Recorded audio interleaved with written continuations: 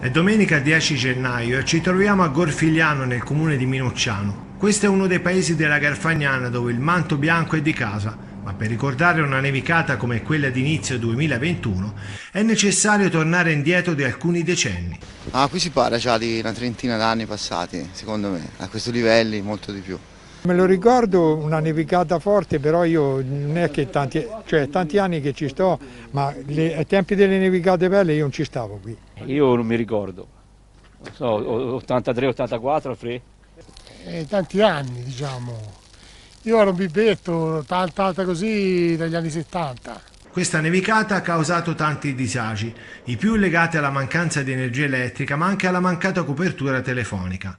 Poi sui social si è aperta la gara delle lamentele, molte legate alla mancata spalatura della neve.